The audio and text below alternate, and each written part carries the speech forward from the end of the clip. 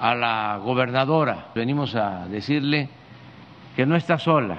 El gobierno federal la va a apoyar siempre. Ahora que se presentaron estos hechos lamentables en Baja California, de inmediato recibió el apoyo del gobierno federal, de la Secretaría de la Defensa, de la Secretaría de Marina, de la Secretaría de Seguridad Pública, de la Secretaría de Gobernación. Cuando se necesite, aquí vamos a estar, junto a ella, para apoyar al pueblo de Baja California.